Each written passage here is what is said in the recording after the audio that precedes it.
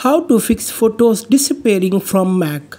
Hi everyone, welcome back to the channel. Today I'm going to show you how to fix the issue where photos and videos suddenly disappear from your MacBook Pro or MacBook Air. So without wasting any time, let's get started. Method 1.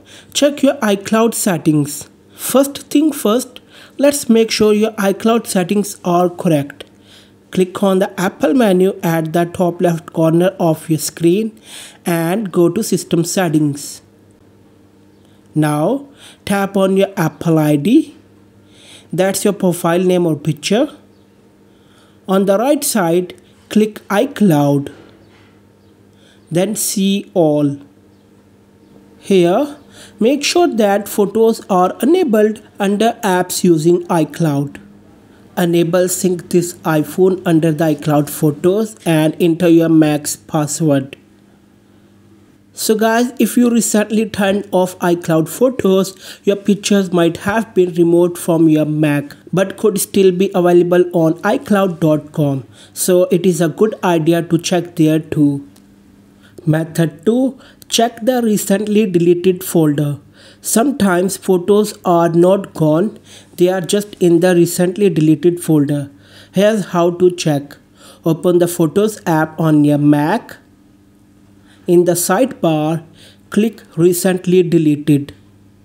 If asked, enter your Mac password to access it.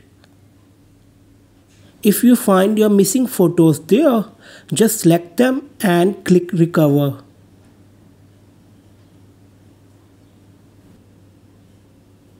Method 3. Check the hidden photos album.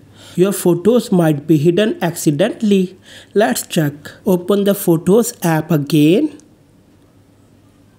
In the sidebar, scroll down and click on Utilities. Now at the top menu bar, click View and then select Show Hidden Photos Album. You will now see the hidden album under Utilities. Enter your Mac password if prompted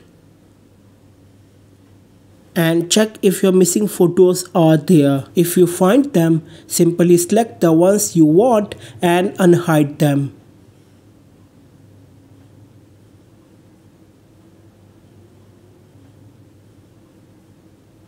That's it. If you find this video helpful, don't forget to like, share and subscribe to the channel for more Mac tips and tutorials. Thanks for watching and I'll see you in the next one.